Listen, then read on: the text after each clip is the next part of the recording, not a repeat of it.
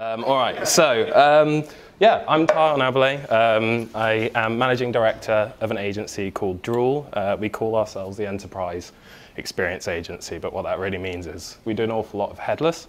Um, we also own headless.com, and I'll tell you more about that a bit later. Uh, the general idea is we want to start building a platform to engender improved development resources, guides, and so on uh, for headless WordPress and other headless CMSs. Anyway, so uh, to start off, just so you know, um, I need the clicker. That's important. Did it click? It clicked. Okay, so to start off, this is kind of what I'm going to be talking about today. I think just a brief overview of how headless has been seen. Um, I think you're probably all aware of that. It's a bit of a buzzword, but we'll get into that. Um, and then composability in headless and kind of how we see um, headless. And I think, I think that's sort of the direction it's going is more about composability than just headless as a technology. And then finally, uh, kind of how you can benefit from it um, in normal WordPress builds and then sort of going into uh, full WordPress, uh, headless WordPress builds rather. So just to start off, um, just so you know, I mean, you're all aware already, but headless has been done before out in the wild. Um, there's been TechCrunch, which was kind of earlier on. Ant, where are you? There we go. Well done, Ant, on TechCrunch. Um, and then there's the Times. Not sure what happened to the S. Um, but they've got a bit of a headless setup. If you want to talk to Ian about that, they've got some interesting stuff going on, which is maybe arguably more composable than headless. Uh, we built Android Authority and SoundGuys, and more recently, we've rebuilt WP Engine's website on headless WordPress um, and done some really interesting stuff. I'll show you a bit of that later on. Um, so, to start off, let's talk about kind of what it's been understood as. I think headless is often talked about as just decoupled backend and front end, which obviously that's exactly what it is. Um, but I think that kind of where we're going with it now is more just this idea of composability overall. I think that as we go forward, actually, Tim mentioned this in the talk, that there is a bunch of benefits of having things distributed. So security could be one of those. But I think that it also allows you this flexibility as you kind of build out functionality to keep things siloed, keep things separate, um, and allow you more sort of room to grow features without building in high complexity into one place. Um, so is it just a buzzword? Kind of, it is. But I think it's more because of the way people tend to see headless and not so much because it's useless. I think it really has some value. That's kind of proven by the fact that enterprise rely on it quite heavily. Um, they rely on it obviously because they do things at a massive scale. They've got often a bunch of functionality, a bunch of integrations. Uh, the bigger the company, that list can grow into the hundreds. Um, and so inherently, things are headless, things are composable because you've got to integrate so many random different things. So I think that um, one thing that I will pull out now is that we sort of see it as a philosophy, and it kind of goes across three different things. So on the design side, I think that there's an opportunity to build composable from the ground up. So that means the classic design library type stuff. So, you know, uh, icons and then up from there into full components. So, you know, you've got that sort of atomic system of atoms, molecules, organisms, all the way up into larger components. So you all know what a design library is. And then sort of the same thing on the tech stack side. So we'll get into uh, microservices and the MACH Alliance in a second, but it's that MACH Alliance thing of everything should integrate together, um, and you should be able to use the best tool for the job in every situation. Um, and then finally, on development side, so headless, obviously, you end up building things in React um, or Angular, but I think a lot of people are doing React. But in React, it sort of encourages you to modularize things and encourages you to break things out into components and separate functionality in diff into different sections. And you get that same composability thing mirrored at a sort of code level inside a lot of front-end JavaScript projects. So I think composability really should be seen as always try and silo out bits of functionality, design, or features uh, into separate sections. It also allows you more flexibility as you develop. Instead of developing into one massive code base, you can develop into a smaller one that's more purposeful um, and more focused on a specific feature. So, some quotes. um, so I think that like the, the general idea um, is that I think that business owners are seeing headless and, and composability as a way to mitigate risk. One of the other things that we don't really talk about with this stuff is that if you build something monolithic, you're investing all of your time, money, effort, and intelligence or like expertise or know-how into one massive thing. It's not a bad thing, and in some situations, well, in a lot of situations, that makes a ton of sense. It simplifies things. But I think that the way that people are using headless most successfully or using the idea of composability most successfully is when they're using it to accelerate their business and they're using it to sort of get a head start by going to a specific sort of vendor, let's say, or a specific you know, framework, so in the case of React, to get a head start in a way that makes a big difference for their business. So instead of trying to spend years getting a you know, single page application like experience on WordPress, just build the React front end and sort of use the best bits of that particular framework. So the MACH Alliance has kind of done this all before, and so kind of a lot of what I'm saying is a straight rip of what the MACH Alliance stands for. So microservices break everything out into sort of individual bits of functionality. API first, it should be able to be integrated into anything. Anything you build should be able to integrate into anything else you might want to build or use. Cloud native, I like this one because scalable and flexible and resilient servers in WordPress are tricky to get right. Um, in the React and sort of JavaScript world, it's a lot easier um, and more common. And then finally, headless. I don't think I need to explain that one. So yeah, once again, separate chunks of functionality as reusable and distinct components and microservices. Um, basically, harping on that point of go to the best tool for the job, uh, whenever you can. So um, let's show an example real quick. So this is what we do on the design system level. It's nothing special. Hopefully all you guys are pretty familiar with Figma boards that look like this. Um, but I think the important thing to think of here is that this is, yes, this is the design side. But realistically, we mirror this all the way up to the top. Um, so, and that can, that can get into complex things, you know, maybe you've got a uh, sort of meta navigation feature that is spanning across loads of sites. Ideally, you break that up into something that is very easy to implement and uh, transferable to any other sites you're working on, and that sort of thing. And I think that, um, so this particular quote, I think, is a bit like clearly MACH Alliance is pushing for a specific uh, goal here. They are pushing for that MACH Alliance ideal of integrate everywhere and so on. And they are pushing for more people to come on board, but I think it still proves a point. We've obviously seen, seen a lot of success with MACH Alliance, and I think it's generally where the industry is going. You're getting more and more, can't remember uh, where I saw it on LinkedIn probably, but I think the number of things that, that marketers have to integrate, and it's the same situation in publishing, same situation in e-commerce, the things that people are having to integrate is becoming a wider and wider array. And I think it's more and more important that as developers and agencies, that we, you know, sort of open ourselves up to that world. Because it seems to be the thing that's coming down the road.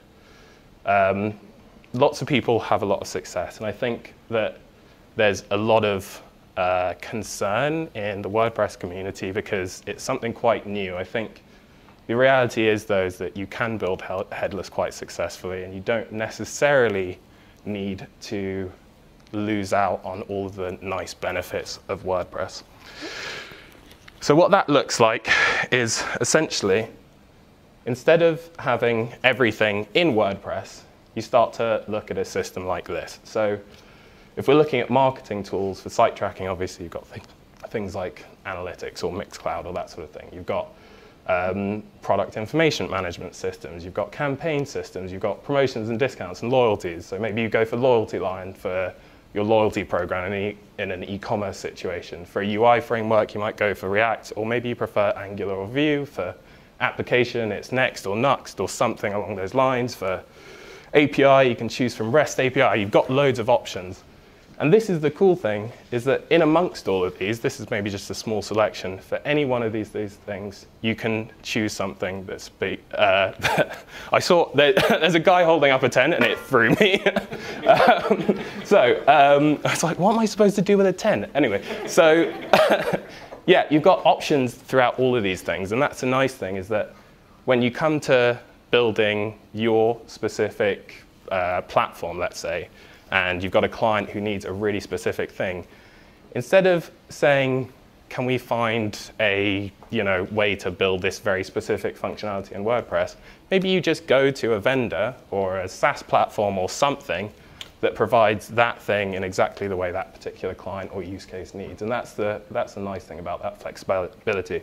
I'll also say that I think this is this is kind of the, the lifestyle of it, but there are those other things, once again, that security, um, like for example, security is a really important one, like spreading the uh, complexity across a range of services really does do wonders for security. You have to imagine that if you tried building all of these things into WordPress, you're going to get a lot of code complexity um, and feature complexity, and it's just, I mean, it's a lot of stuff in one thing um, in one monolithic thing. Obviously, yes, you can split things into plugins, um, and uh, you don't have to build it all into core or a theme or anything like that. Um, but it's nice, uh, it's nice going to someone who's going to do one of those things very well, i.e., LoyaltyLion probably will do a better job of a loyalty system than you can build into WordPress or uh, WooCommerce, for example. Um, quick one, if anyone does get into headless, just install Vanilla Extract. It's really good. It basically allows you to build a Tailwind type CSS framework, but built at compile time. This is kind of the nerdiest thing I've got in this uh, set of presentation slides, but it's really worth it and it completely changes the way you build the front end. All right. So, when's headless a bad idea? And I think uh, this is an important one because I can come off as a little bit too confident about headless when the reality is it doesn't work all the time. In fact, a lot of the time it doesn't work. So one, lacking the team expertise. That's not a jab at you guys for not being able to do it. That's just the way it works. Obviously, headless relies heavily on JavaScript and knowing that side of the world. If you don't have experience with building single page applications, it might be tricky getting into it. Um, it's also sometimes going to cost you significantly more. If you don't have the team or you've got to hire sort of externally to do it, it will cost you significantly more. I don't think that's a forever thing. I think once you get used to building it and you've got the team in house, you can definitely manage it, but it can cost more. And then finally, adding unnecessary complexity. There's been a push in the last year or two, I think, or I'm hearing a lot of uh, SMBs shooting for headless. I don't know if headless makes sense in the SMB space all the time. I think there's use cases for sure. But I think generally speaking, what you want to look at is am I going to give myself an unnecessary level of complexity to deal with even once the team's gotten up to speed? If you think that you're just adding complexity that's going to extend timelines 20% forever, just don't do it if you're not getting any benefits that sort of outweigh that additional uh, time cost. But I still want to have a piece of the pie. So, firstly, you've probably all heard of hybrid, um, but essentially, there are things that you can do to get some of those benefits. If you want fancy animations and fancy UI, you can embed uh, React and all of the JavaScript frameworks into a site. Specialized roles, I think, is an important one. One of the things that Headless forces you to do is separate your back-end and front-end team. Um, and so that ends up meaning that you've got experienced, bless you, by the way, um, you've got experienced front-end devs working on front-end stuff, and you've got experienced back-end devs working on back-end devs. That classic thing of people uh, do stuff better when they enjoy what they're doing. I don't know how many devs we've got in the room, but you probably have a tendency towards back-end or front-end. So it's uh, nicer to work on, on what you like. And then finally, Gutenberg blocks is composability in a sort of UI system. Um, I think that uh, everyone's probably very aware of Guten blocks, Gutenberg blocks these days, but I still do hear tales of people not building sites with them. Um, so get on it. um, and then the good bits. Uh, this is, once again, the stuff that you know already. It's omni-channel. It gives you more sort of styling and front-end capabilities. It gives you access to things that are far more uh, sort of specialized for front ends. I didn't uh, pause that time, but now I've just made everyone aware of the fact that you just did it again. and uh, native like UI UX. I think this is an important one. People have been talking for the last five years about uh, native like UI, native like UI and UX on web applications, leading to higher conversion rates and just sort of general stickiness with people. I think people feel a lot more comfortable in a native like UI. And then finally, localization, personalization, A-B testing. You can do all of that stuff without any performance issues. You can bundle it into your original request to the back end, and uh, you won't see any sort of performance slowdown on the front end. So that's cool. Content editor experience is the next thing people tend to ask about. They're like, but WordPress is supposed to be easy and plug and play. And the good news is you can actually do it. Uh, you don't really uh, lose anything.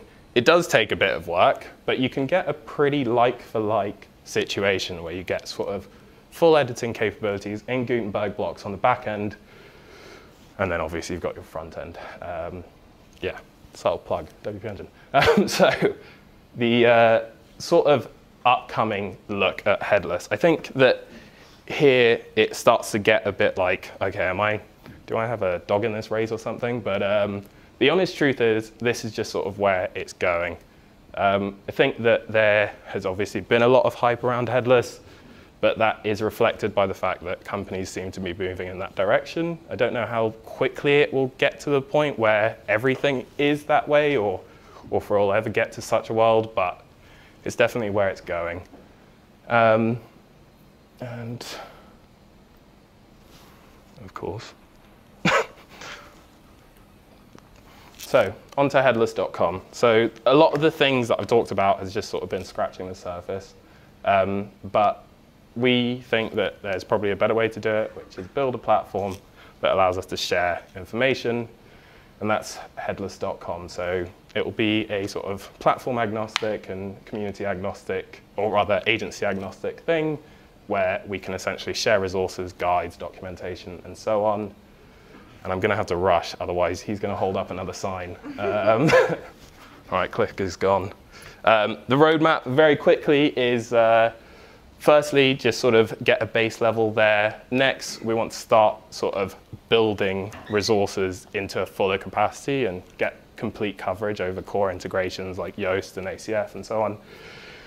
And then eventually, uh, we'll get round to doing a starting framework and what you can contribute. You get to be a thought leader, give back to the community, and collaborate with other experts. It's the classic WordPress community stuff that we all know and love. Um, and we're hoping that it can become a really good sort of knowledge resource for headless and essentially reduce the level of effort for developers to get into it and marketers to get into it and publishers and so on.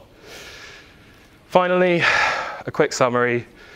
Use specialized technologies, use the best tool for the job, why not? Don't limit yourselves. Um, modularize, modularize and reuse functionality. I think that's something you can apply to any situation. I mean, to be fair, the first one you can apply to any situation as well.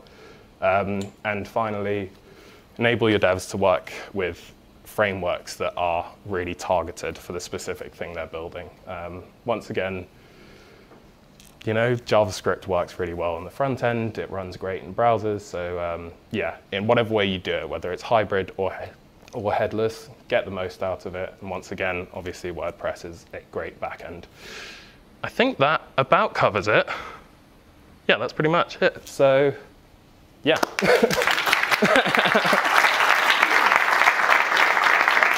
and questions? Yes. 10, 10 15 minutes? All right. You got any questions? Yep, go ahead. How do we uh, make sure WordPress is seen as a good sort of headless CMS? Because I think one challenge is clients have C stuff, marketing mm. stuff. How does WordPress like yeah. Because you know other CMS really target themselves as like mm. a headless CMS. WordPress doesn't do that, but personally, I think it is really good. So Yeah, yeah, I think so as well. So the weird thing about WordPress and just headless CMSs in general is that if you use a headless CMS, there's a, not there's not really a higher level of effort. It's just the way it works. So if you go to like Magnolia or Sanity or Contentful or any of them, you, you, you have to build a, an API still. It doesn't just do it all for you. It's kind of the same situation. And so, really, then the, the comparison becomes the content editor experience, which arguably I think we would all agree is better in WordPress. Um, and so, in terms of convincing the client, I think it's, in my mind, I think it's more about giving them a general over understand, overall understanding of what the situation is with headless, and then uh, I think WordPress and its content editor experience sort of speaks for itself, you know. Yeah. Any questions? Yep. mentioned like uh, Gutenberg blocks and headless. Are there any kind of particular strategies or approaches you found that work well to kind of share code and that kind of thing? Or Yeah, so when we did the WP Engine site, what we really wanted to do was mirror um, our sort of like front end code on the back end. Um, but it was something that we ended up not doing because it did sort of reach a level of complexity that we weren't really happy with. That said, um, there is there are, you know, it is at the end of the day similar styling, so you can share that code on initial build. And then as you make sort of feature updates to a block, let's say, it's a much smaller ask for a back-end developer, uh, back-end developer to add those sort of slight design changes or something like that. The reality is, as you probably saw from that slide, I won't go back to it, but you know, the back-end side is not one for one like the front end, but it gives a really close, like 99%, you know, representation. Um, yeah, so it's still a nice sort of editing experience.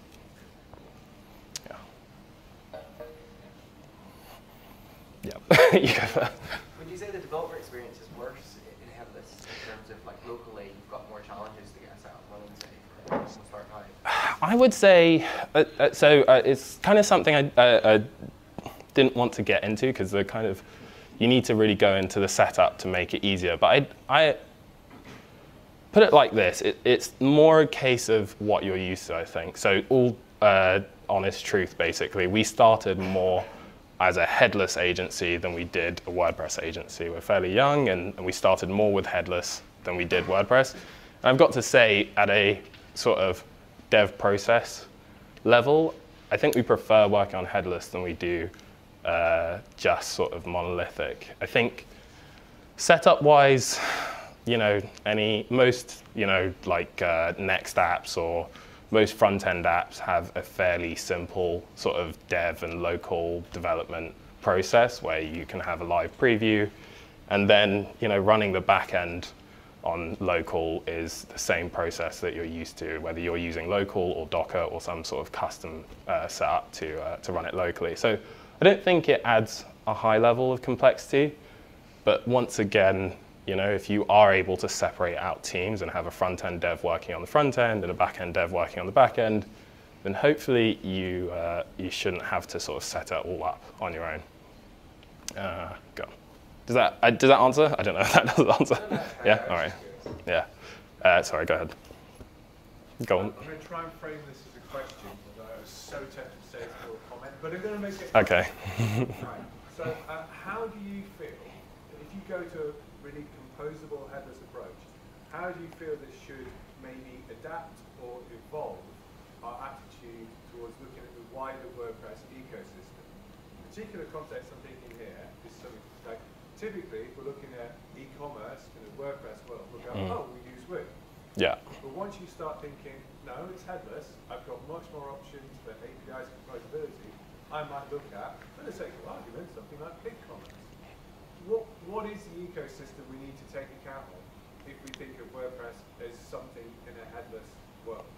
Well, I think that's the cool part actually, is it gets WordPress into that game. It gets WordPress into, oh, it's actually one of the potential uh, vendors for CMSs in al- alongside all of the other things that integrate into each other. So obviously you mentioned BigCommerce, and BigCommerce is of course part of the MACH Alliance, and part of that world of tech stack uh, that integrates to everything. And so that's, that is the fun thing. You're not talking about what's a WordPress plugin anymore. You're talking about what has a REST API, and a lot of bloody stuff has a REST API basically. So you can kind of open up your horizons in terms of what's possible. I think that's probably was that the statement you were kind of turning into. Yeah, but it's like, flip it's like the challenge of it. Like we're really comfortable being in this WordPress world. So, Mm. So I what is that? Yeah. So I think that that challenge of it is. I think that the, the, the break point, this is such a touchy feely thing to say, but I think the break point for when you should go headless is you'll feel it. like it, it will reach a level of complexity, what you're trying to do, that you're like, oh, at this point, I should just do it headless, or I should do it composable, or I should do it REST API. I think there's a bunch of stuff, you, like probably the first 90% of stuff, or 90% of websites that any of us are going to interact with really don't need that level of complexity. But there'll be something that you have to do that will be so tricky or so like the, the functionality you're looking for will be a, a level of complexity where you'll just be like, you know what, this is this could be headless because before that point, yeah, you can get away with a plugin or you can get away with a off-the-shelf solution, but yeah, there's a level of custom, I suppose, that you get into. It's very hard to define that on a in a general way, but I think it's it, it's going up into sort of the enterprise, or you've just got a very large feature set, or just like uh, feature complexity. Yeah. Go ahead. Uh, how micro, how micro should you get? Uh, I know within the. Sorry, say that again. Uh, how micro should you get within your technical architecture? I know that you know some purists within the microservices space, Mm. you know, go right down. Mm. You know, everything's an actionable message, and then you build it up from there as, Yeah. as a basis. Is uh, it like you know we talked about different degrees, I suppose, about where you Mm. sit within that sort of micro scale. Yeah. Uh, what is what is is it still very practical, or are you are you looking for something? I think that's an, that's that. So this is look, this is the thing. These these sorts of questions, I think, they're the things where, and I think with headless, everyone wants to ask the question, like including us, of like when's the right time to do this, do that. But that's a question that's really going to depend on the client and the budget, because uh, one client might have an appetite for spending a bit more in order to get a more focused end result. Focused as in focused on specifically the goals that they've got. Uh, whereas a smaller client, you know, maybe isn't willing to go to that level of complexity or sort of in-depth planning, um, and it's just not going to make sense. But I think basically you should go you know if you think of it as like one of those sort of tree diagrams where you've got one big thing at the top and then it sort of branches out i think you keep branching until uh, you're getting to a point of you know it's too much for your team to manage too many you know services involved to, to keep track of um, or just diminishing returns for the complexity that you're adding in by uh, adding those services yeah any more questions Oh my god, does that mean I can get off stage now? No, joking. Is that everything? Yeah, thank you so Awesome. much. All right.